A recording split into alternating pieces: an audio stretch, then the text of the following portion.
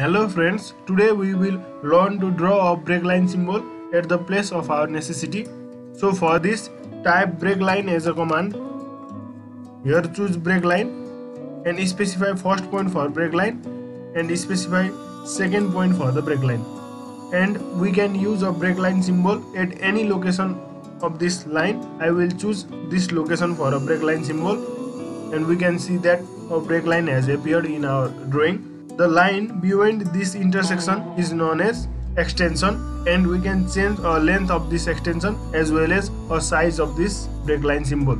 So for this type break line as a command and here type S for size of break line symbol and press enter. Here size of break line symbol is 1 you can change it to 2 and here type E for length of extension and press enter. Here length of extension is 1, let us make it 2 and press enter.